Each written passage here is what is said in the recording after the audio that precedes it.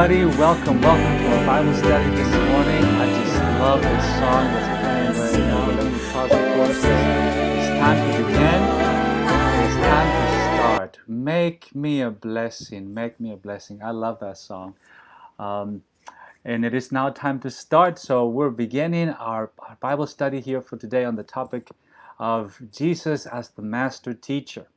And so today is October 31st, 2020, and we have a, just a wonderful treat for you. So I'd like to welcome you and invite you to share, share on Facebook, start a watch party, or just share the link on YouTube uh, with your friends and let them know that this is going to be a great time. And whether you're listening to this, watching this live, or afterwards, you're in for a treat and a real and a real blessing. So uh, we are following the Sabbath School Bible study, and if you would like to have just a great tool to read each day, just for a few minutes, you read from the Bible and a short commentary on the topic for the day, go to this website, sabbathschoolpersonalministries.org. There's an app also you can download, and we have studies there for every age group. And here in this panel, in this uh, setting, we discuss the adult uh, topic, which for this week is Jesus as the master teacher. And by the way, if you are following along with those readings and you would like to be a part of this panel sometime and, uh, and be with us here, let us know. Send us an email.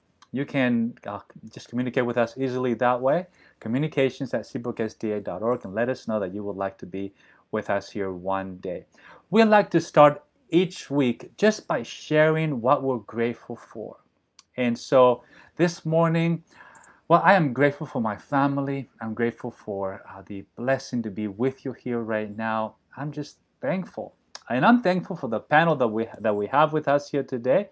And I'd like to introduce to you my dear friend, Tanisha. Welcome, Tanisha. So glad to have you. Good morning. And what's your biggest gratitude today, my sister? Well, I am super grateful for, you know, every season in our lives and the different things we get to learn from them that allow us to grow even closer to our Heavenly Father. Mm, all right, good to have you, sister. And then we have also with us here my good friend, Dwight Palmer. Welcome, Dwight. Good to have you. What are you grateful for today? Happy Sabbath, each and every one. I am grateful today that I am following the path of staying focused on Christ. And I'm just happy I'm alive and well today to be able to share your words and display his characteristics and prepare for heaven. Mm, we're glad you're here, my friend. And then we also have with us here my dear friend, Avanel McKenzie. And Avanel, good morning to you. Good morning, uh, Pastor Munoz, and good morning, everyone. Very good. What are you grateful for today, Avanel?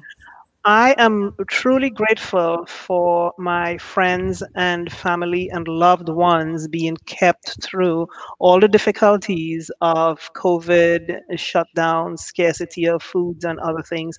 I'm grateful that God has blessed us with health and strength to pursue Him through these times. Mm, they're so well said. Thank you so much, Avanel.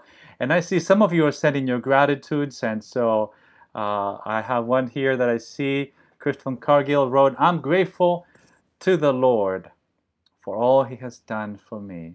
And we are grateful for the things he's done for you, Clifton. Hey, Clifton, I want to have you on this panel one week soon, okay? Uh, please uh, let me know if you if you want to be on sometime. Um, very good. So, good morning and happy Sabbath to you too, Shirley, and everybody else. Thank you so much for your greetings, and thank you for being engaged. Continue to do so uh, here as we as we go along our study today. So, uh, let's begin uh, here with a prayer from Brother Dwight. Let us pray.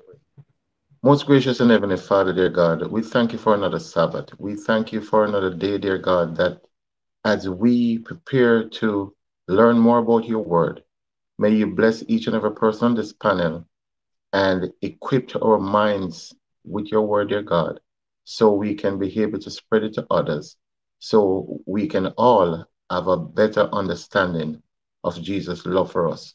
Bless each and every one who is listening online, from home, or wherever you are. God bless you and be with you. Happy Sabbath. Amen. Thank you, Dwight. Thank you for sharing uh, that beautiful prayer. And now, friends, we're talking about Jesus as the best teacher ever. So, Jesus teaches us um, how God is. And Jesus said in John 14 and verse 9, He who has seen me has seen the Father. He set an example of how we should live. For I have given you an example, Jesus said, that you should do or live as I have done to you. Just that's in John 13 and verse 15. Jesus paid the price for our sins and reconciled us to God. God was in Christ reconciling the world to himself. We're going to talk about that a little bit more. So you want to stay with us and uh, so that you can uh, contribute and share in the chat or just listen to what it means that Jesus reconciles us back to God and back to himself. How did he do that? It says, not imputing their trespasses, that is, not counting their sins, their mistakes to them. And he has then given us or committed to us the word of reconciliation. That's the scripture from Second Corinthians chapter 5 and verse 19. So, the first thing we're going to look at here today is that Jesus is the glory of the Father. Jesus is the glory of the Father. And so, uh, we begin here with this scripture from John 14 and verse 9. Jesus said to him, Have I been with you so long, and yet you have not known me, Philip? This is a conversation between Jesus and his disciple Philip. And then Jesus says, He who has seen me has seen the Father. Uh, so that is the job of Jesus, the best teacher ever, to reveal to us the Father. And if we go to Hebrews chapter 1, verses 1 through 3, we see how the author of Hebrews explains that God could not meet humans face to face after sin entered into the world. And there's a whole reason for that. And that is why he revealed God's will to us through prophets, people to whom he spoke directly. So the revelation was imperfect because this was God speaking to Moses, to Isaiah, uh, to Jonah, remember? Uh, to Hosea. People in very complicated and uh, not ideal situations. So it was only Jesus who could perfectly reveal who God is. Have you ever read the Bible, particularly some of the stories in the uh, in the Old Testament, like in the Torah, and you're like, wow, that is, and you're like, you have questions like, really, did that really happen? Was that God's will? And then what brings clarity is looking at Jesus and his life. For in Jesus, everything becomes much clearer. That's why he's the teacher, the master teacher. So Jesus uh, is the brightness of God's glory. He expresses the express image of the person of God. And Jesus, the Bible says, upholds, holds all things together. He has purged or cleansed our sins. And Jesus sits down at the right hand of God, for Jesus is God. So Jesus came to teach the truth about God and show us the glory of God. Uh, as it says in 2 Corinthians 4 6, in the face of Jesus Christ. Those who saw Jesus, he wasn't just a regular human being, but he was also God. So, with that, let's look at this scripture and see what you think. Um, so it says, For it is God who commanded light to shine out of darkness, who has shown in our hearts to give the light of the knowledge of the glory of God in the face of Jesus Christ. So, a couple of words that stand out here is that Jesus, as in creation, he is making light to shine out of darkness. So, with that, I have a question for you, my friend. Do you have an out of darkness story? Do you? What is your out of darkness story? From what darkness did God bring you out? And while you're thinking about your story and you're going to type it in the chat, we're going to hear here today uh, from my dear friend Tanisha. Tanisha, could you share your story with us? Yes. And I tell you, in the beginning of things, right? Things will always be rough, but at the end, the end is the beautiful part. And I'm still living my end. My darkest story came at I had gotten ties in June. July, we had celebrated five things the purchase of our new home, the graduations we've had, um, the uh, anniversary, and the birth, the soon coming birth of my son. Oh my goodness, everything was beautiful, right? And I had just gotten baptized. And guess what happened in? My whole world came crashing down. It was the too early of my son. He came five months early. It you you never know like what strength is within you and, and that strength could not have been there if i had not first have known that there is a eternal home and your faith actually prepares you so it was a bling that I had done the Bible study, the walk that it took to get baptized in June. So that August came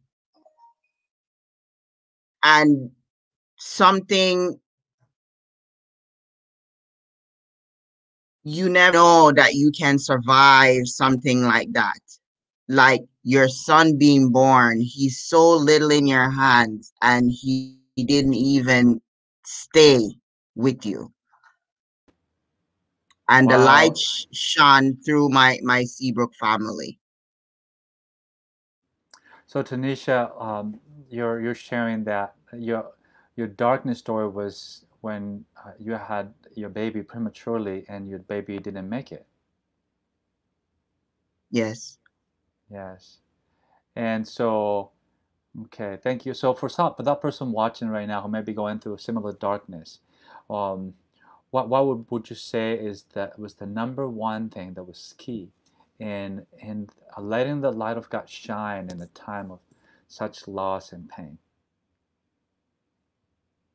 It actually it was a story from um, Sister Laverne who shared that you know a similar thing had happened to someone she knew and the the the glory that came later that yes the lord was still able to give her her gift right her gift of her child and that i should start grounding myself back in the word and she said read a psalm a day and and and her give me that light I was able to shine that light and share it with others.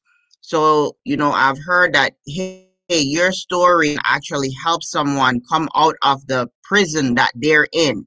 So don't be afraid to share your story because your story is what's going to help them. So that was a light. Mm. Thank you for sharing that, Tanisha, so, so much out of that, uh, the great, great pain, how God brought you through. Thank you so much. So I love that suggestion, Tanisha. Read a psalm. Read a psalm each day. Let the light of the Master Teacher Jesus into your life through the Word of God. Thank you for sharing that. Um, very good. There's so much more that could be said um, on that. Uh, we, we, have more stories coming. So uh, Jesus said to him, this is in John 14 and uh, verse 9. Have I been with you so long, and yet you have not known me, Philip? He who has seen me has seen the Father. So how can you say, show us the Father? I'm if you see me, you've seen the Father, Jesus said. Jesus revealed the glory and the character of the Father. People could see God in, in Jesus. Jesus is the image of God, says Hebrews 1, verse 3. And we are transformed to the image of Jesus. Romans 8 29 says that we can reveal the glory and the character of the Father to this world, similarly as Jesus did. So Jesus is the light of the world, John 8, verse 12, and we've been made light. Jesus, the master teacher, said that in Matthew 5, verse 14, to light the world with the knowledge of the character of God. So, uh, the more time we spend with Jesus, like Tanisha was saying now, spending time each day, read a psalm a day, let the light shine through. The, the, so the more time we spend with Jesus, the more we will reflect his glory. So with that, let me show you this scripture from 2 Corinthians uh, chapter 3 uh, and verse 18. And let's see. Um, let me see. Avanel, would you would you read this one for us right there? But we all, with unveiled face, beholding as in a mirror the glory of the Lord, are being transformed into the same image from glory to glory, just as by the Spirit of the Lord. Mm, thank you so much. And so, friends, we just we, we're talking about Jesus, the Master Teacher, who uh, brings us out of darkness. In other words, transformation, like this verse puts it um, it takes place in our lives. So, uh, Avanel, since you're here, why don't you share uh, how you're being transformed? And friends, you can share in the chat too, and I'm going to get to the chat in just a minute. Uh, but let's hear from Avanel. How are you being transformed? How am I being transformed? My transformation is not really a miraculous thing that happened to me once and for all. I feel like Jacob, I am wrestling with the Lord and He is wrestling back with me. My transformation is like an onion, the skin being peeled back, one piece at a time. And the Lord is very patient with me that when He peels something back and it's painful to me, He is right there with me. And I'm glad that my transformation is not miraculous and sudden and life blowing. I'm glad that it is slow and sometimes painful because I can recognize when the Lord has done something in my life and I look back and say, wow, I've actually come from that place to where I am now and I can glorify Him every day for that one thing that He has done, happened, managed to complete in my life to make me more like Him. Thank you. And thank you, Avanel. Thank you for sharing. So, what about you, my friend? What is your story of being transformed? You can share it in the chat, and uh, and we'd love to put it on the screen uh, if, if we if we get a chance. But if, if you share it in the chat, and even if we don't share it on the screen here, everybody who's watching can read and benefit from your sharing. So, thank you for that. All right. Uh, so uh, next, I want to show you this powerful, powerful uh, passage here. Uh, it says, Jesus, the master teacher, came to reveal the character of the deity to mankind. Deity means God. What is that character? Tender, compassionate, sympathetic, ever considerate of others. That's in a great book called The Ministry of Healing. And so uh, as the master teacher, not only is, uh, is Jesus, as we have said so far here, the glory of the Father, um, but Jesus is our example. So let's take a look at that, uh, at Jesus being our example. Uh, in John 13, 15, it says, For I have given you an example that you should do, that you should live, that you should be, uh, that you should do as I have done to you. That was in the context of service after having washed the feet of the disciples, something that shocked them tremendously because how could Jesus, the master teacher, be washing the feet of the students? Uh, which uh, was something that was done then by actually by servants or even slaves uh, were the people who did that job. And Jesus said, I have come to be your servant. I have come to be your slave. I have come to be here for you. Uh, it was very shocking, very shocking. Now, in order to follow Jesus' example, we get to learn about how he lived when he was on earth. And Paul, the apostle, masterfully described the character of Jesus and what we and how we get to imitate him. This is a very deep passage in Philippians 2 verses 3 to 11. Uh, but just to summarize it, uh, it's humility, obedience, and service. And we could reference so many other passages uh, on this. But here's the point God's great work of education and salvation is accomplished by humbling ourselves before God, obeying Him, and becoming servants of others. So uh, I wish we had time here to, to go into Philippians chapter 2, verses 2, uh, rather 3 to 11. Um, but we're, or for example, Matthew 11, verse 29, where Jesus says, Come unto me, all you who are weary and heavy laden, I will give you rest. For I am meek, uh, learn of me, for I am meek and lowly of heart. So we're going to consider these three qualities of, uh, of Jesus humility, obedience, and service. And I have a question for you because I know that for me, those qualities don't come easy. So let me ask you this Which of these three qualities of, of Jesus, the master teacher, humility, obedience, and service, has been more difficult for you to emulate and why? Would you share with us in the chat? Please do. And while you're doing that, I'm going to bring my friend uh, Tanisha again to share on that. So, Tanisha, go right ahead. Awesome. So, for me, you know, there's never just one thing, right? So for for me, it's service, but it's the, the obedience in doing the service, right? So it's never one thing. Um, for each time I've been called, and that's the thing, have you been called, right? You you you want to have that desire, that passion, um, to help and serve.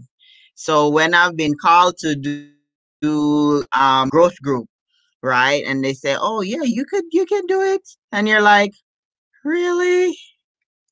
But I tell you, in the audience, in the walking, in the preparing, in the the the community, in the fellowshipping of doing your group or you know the the different ministries I've been in at church, I'm telling you, there are parts of you that are growing as as a Christian, as a child of God, as a, a, a citizen, right, of, of His His kingdom, and it is everything is working for your good. So you know, my battle has always been with the service. So now, when I am called, I say, "Okay, Lord, you know, what am I gonna learn this time?" That's that's great. That's great, Tanisha. Thank you. So and and and you're surprised each time that you you accept the service opportunity, and in the end it turns out that it wasn't so much you were helping others, but the help that you get for yourself in the process.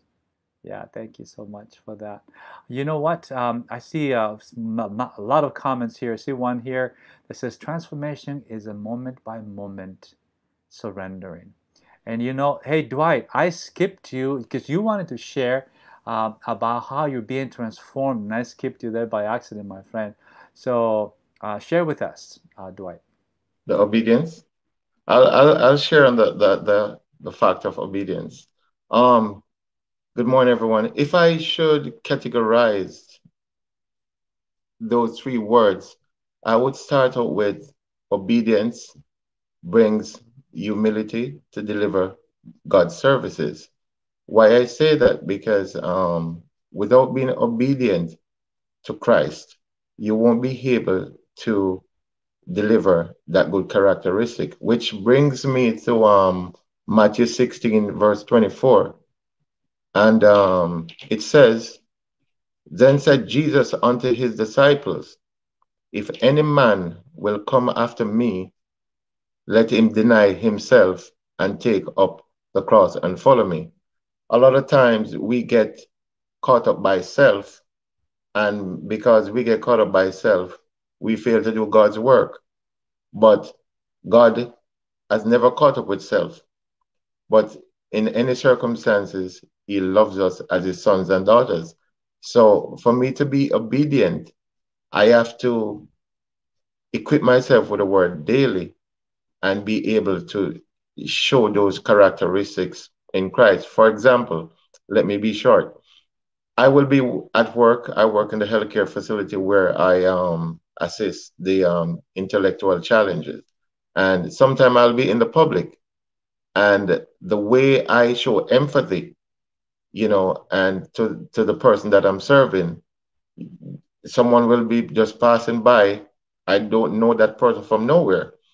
And that person will stop and say, Hey, God bless you guys, man, because I've been watching you quite some morning. And it's only God in you to do what you have been doing. So continue to do that. What that does, it makes me feel joyful. It makes me feel like, wow, I could just run and jump for joy and shout out Jesus because I did not know by just doing these simple things, I'm displaying Christ's characteristics. And this is what Christ wants us to do each day on this earth, in this life, as we prepare to meet him on his second coming. Yes, sir. Yes, sir. Thank you, Dwight. Thank you for sharing. And Jesus, the master teacher, uh, is introduced in the Bible as the one who's reconciling us back to God. That's what this scripture is about right here. God was in Christ, reconciling, bringing back together the world to himself, not imputing their trespasses to them. That is, not counting, recording, or holding against them their trespasses or their mistakes, their sins, uh, the self harm and harming of others, uh, and has committed or given to us the word or the ministry of reconciliation. So the thing that God has done for us, now we get to do for others is basically what the apostle is saying here in 2 Corinthians 5 and verse 19. So God took the first step. Here's the point from the master teacher. The teacher takes the first step. The teacher leads by example. He gave his son to reconcile us with him. He also puts the desire in our hearts to repent. Have you looked at uh, Romans chapter 2 verse 4 where it says for uh, it is the mercies and the goodness of God that leads us to repentance. When we see, wow, what a wonderful God. How can I let this amazing God down? No, I don't want to do that. I don't want to do that anymore. I want to honor God, for God is so good to me. Jesus is the creator and sustainer of life, the Bible says. Jesus redeemed us, saved us at the cross. He forgives us of our sins and reconciles us with God. He also makes us a part of His redeeming work in our social spheres. We get to help, we get to cooperate in bringing more people. So sin created a breach between God and humankind, naturally. Why? Why is that? What is sin? Um, a simple way to look at sin is anything that brings harm to self, to others, or to God's creation. That's sin. So it's not a mean God that's trying to take the fun out of life, but it's a God that protects and that says, That's not good for you. Don't put your hand in the stove burner because it will hurt you. That's, that's, that's the teacher who's saying, I am for you, I'm not against you, I am on your side. So, um, the point is, just like the child that insists on doing something that is self harming. So we cannot, on our own, breach this gap, learn this obedience. Uh, what is more, the sin in us prevents us from truly desiring to close that gap. So it's the it's the nature. If you are if you're a parent, you you recall. You, some of you may be going through this where uh, your child is insisting on a path that you know for sure is going to bring harm. And, but it seems that they have no ability, they are powerless over their impulse to do the very thing that will hurt them. And so that's our situation. So, uh, in that case, then, let me ask you this Do you have a story of a time when you did not want to be reconciled to God. And yet God brought you closer to Himself, closer to heaven anyway.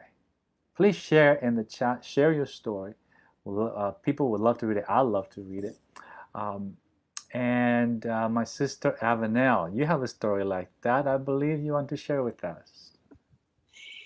Yes, uh, you mentioned, Pastor Jimmy, that sometimes, like children, we do not wish to obey the Lord. We just wish to do our own thing. And there was an event in my life that I really did not want to hear the Lord tell me, Avanel, please don't do that. I wanted to do my own thing, and I did. See, I didn't want the Lord to tell me, don't do that, because I wanted to enjoy this and I wanted Him to bless it. I just didn't want Him to say no. So I did, and I enjoyed it for a short while. And invariably, my life didn't crumble, it didn't fall apart. It fell like a crystal glass down on a ceramic floor and broke into a million pieces that I couldn't even stick back together. So here am I seated with my mom and my three kids and myself with my life in shambles. Total shambles. Nothing to be stuck back together. And I called on the name of the Lord. And guess what? He was there. I held on to the Lord's skirt tails for the ride back up into having a life that He gave me. It was a dizzying ride because there were things that I had no right doing that I had to correct. It took time, but God brought me back to Himself. One day, one hour, one second, one action, one act of obedience, one act of prayer, He brought me back to Himself.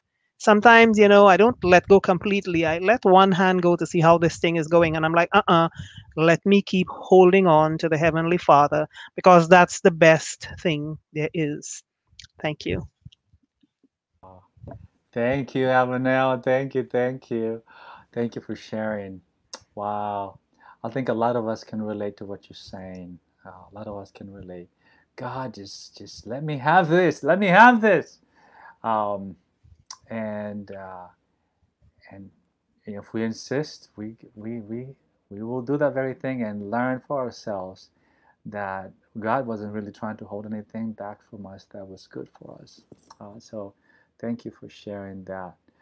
All right. Uh, so I'm seeing some comments here that uh, coming in, um, and quite a few, quite a few. So let's let's get to a few here on on this topic. Um, Dennis Salmon said, I have been transformed from an upbringing, um, from an upbringing of addiction to this journey of freedom in Jesus Christ. Thank you for sharing, my friend. And we say amen and amen. Praise God for that. Okay, all right, let's uh, look at another comment here. Clifton wrote, uh, when I was married, I could not tell, uh, you could not tell me uh, nothing about God because everything was going right until the day when the only person I could call was almost God. So it's the story there of, uh, of uh, God being with you in a very difficult situation. All right. So uh, let's grab this comment here that just came in. Humility from uh, Gillian. Thank you, Gillian. Humility has been very difficult and tricky. I have learned that true humility comes with life struggles and experiences. I experience humility when I accept life for what it is, empowering humility. Living in reality sounds like. Thank you so much, my sister, for sharing. All right, let me give you as we as we um, are heading towards towards the end, let me give you a heads up for our next question, uh, which we want you to share about. And that is this. I know a lot of you will be very excited. Uh, and when you share this, think of the person. When you share your answer to why do I worship Jesus, I want you to think of that person who may be watching right now or listening, who is brand new. They just picked up a Bible and they just started listening to messages like or teachings like the ones we're doing here today and uh, they would benefit from hearing why why do Why do you worship Jesus? We're saying here Jesus is the master teacher, uh, but we're saying he's more than a teacher. Jesus is God. So why do you worship Jesus? Share in the chat so that we can share on that. Um, so with that, let me put a scripture here from one of the first people who had the privilege of worshiping uh, God in the person of Jesus. And he wrote in Revelation 5 and verse 12 Worthy is the Lamb who was slain to receive power and riches and wisdom and strength and honor and glory and blessing. This is in the book of Revelation after the only the Lamb could open the seals of the scroll. And there was no one else found, not in heaven, not in earth, who could open the scroll. And then the worship from the gathered people was this worthy, worthy is the Lamb. And of course, the Lamb here refers to Jesus. Uh, as it says in the Gospel according to John chapter 1, verse 29 Behold the Lamb of God, Jesus, who takes away the sins of the world. So humanity has been encouraged to worship Jesus since uh, he, God, became a man in the person of Jesus Christ. A group of angels in the shape of a bright star came to announce the coming of the Savior Messiah, King of Kings. And in just a couple of months, we're going to be singing about, about that uh, in our Christmas Christmas songs uh, that I love so much. Looking forward to that. That announcement was heard at the hills of Bethlehem, and it was, uh, of course, and it was seen from Mesopotamia modern day Iran. If you're familiar with geography, that's, that's quite a distance from Bethlehem, from Israel, all the way to the east to modern day Iran or Mesopotamia, the land between two rivers. The shepherds ran to the manger soon as, uh, as soon as they heard the news. They understood that the newborn was the Savior. So they worshiped him and shared the news. That's recorded in Luke chapter 2, verses 8 through 20. The wise ones from the east understood that the angel star was a fulfillment of the prophecies that foretold the coming of the Savior. They got ready to meet him, then traveled to the manger to worship him, to give the presents, as you may remember. Like them, we are also called to worship Christ in this scripture that you have on the screen right now, Revelation 5, verse 12, and others. So, with that, we want to speak especially to our friends, uh, to you. You may be new to this, and Dwight, Dwight wants to share with you why he worships Jesus, and we'll get more comments from others. Uh, but let's hear from Dwight now on this one. Okay, for those who are new to this way of serving Christ, I want to directly say to you that God promises never fails. He said in one of his promises that he will never leave us nor forsake us. He also said that he will never give you more than what you can bear. And each and every one of us have a gift that the Lord have given unto us. It's for us to find that gift in ourselves. But in order to find that gift in ourselves, we need to have faith. And that faith that I'm talking is an individual expression of your love for Christ, recognizing his love for you. So, whatever circumstances you're going through today, when all will fail, when mother and father will forsake you, the Lord will never forsake you. And when you think it's the last, it's just the beginning. Sometimes Christ allowed things to happen to us to strengthen us. He also said in his word that read and find yourself approved. So, no matter what, I want to say to anyone out there today, especially that is coming into the word, stick to the word. Let it be a leading example to your life each and every day. And in each and everything you do, even when you see your family excelling, Say, Thank you, Lord. Even when you get food on your table, thank you, Lord. Because without Christ, we are empty vessels. God bless you. Mm. Thank you. Thank you so much for sharing, uh, Dwight. And we have some more sharing here uh, uh, from, from different ones answering this question Why do I worship Jesus? And uh, Rick Warwick adds, Jesus has brought me through the loss of three children. And uh, thank you for sharing, Brother Rick. And uh, here, Brother Dana responds to that. Brother Rick, thanks for sharing that. May God's peace continue to strengthen you. And of course, that's exactly what you're saying. Why do you worship Jesus? Joyce Hammond says Jesus is the only Son of God. He gave us His precious blood for sinners. Jesus loves you more than anyone because He has gone to prepare a place for you so that you can spend eternity with Him. and I wish I could do justice to how Joyce would say this with so much passion. Praise God for that. And uh, that's right. Uh, uh, Barbara uh, wrote, He is the only person who saves and loves you in this life and the next. Amen. And uh, I worship Jesus so that my life is not in vain. Amen. Amen. Thank you so much, everyone. This is great. Oh, wow. So, uh, that brings us to the end of our time together here. Uh, but we have just a couple more things to share with you. But first, I do have an important thing I want to say today.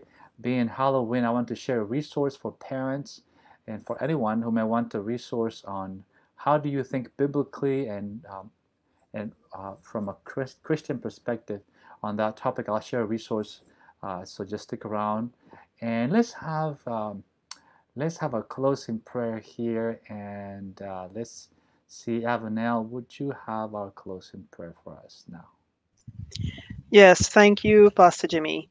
Um, I would like our prayer to be taken from Philippians 1, verses 9 through 11.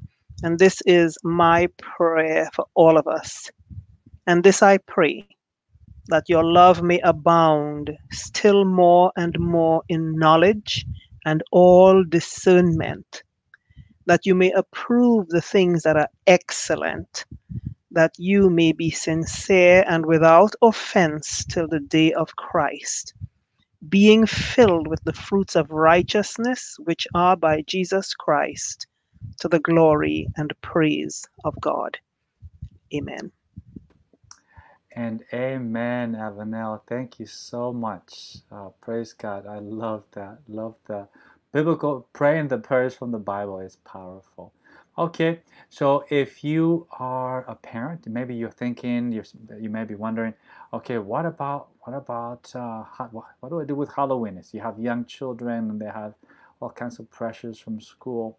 So um, this website that I'm uh, putting here has a great article from the Adventist Review let me put it also in the chat so everybody can uh, can uh, have access to it and you can go and read and uh, share it with um, with your children as appropriate. It just gives some facts, some helpful things uh, to think about on uh, on this uh, on this date. Okay, my friends. So thank you for joining us today. We're just delighted that you were with us. We'll be here again next week, same time, same place. Uh, we um, today we have a wonderful service. You don't want to miss it. Pastor Roberts is preaching today, so you want to you, you want to stay tuned in about 10 to 15 minutes. Make sure to refresh your browser if you're watching on YouTube, particularly, and uh, so you don't miss uh, the next. Make sure to subscribe. That's the one way to make sure you don't miss any of our life-giving and faith-boosting services. Okay, and one final thing, my friends. Uh, Today is the final day for anyone who wishes to join one of our online growth groups. So uh, if you'd like to join today, there's no more chance against uh, uh after today for this fall semester. So they're free. They're welcome. Anyone is welcome to participate. Uh, seabrooksda.org is the place to go to uh, to see that. Okay, um, time has passed. So with that, I'll say God bless you, and I'll see you again next week. Take care.